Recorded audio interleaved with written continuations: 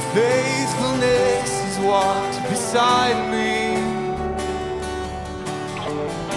The winter storms made way for spring.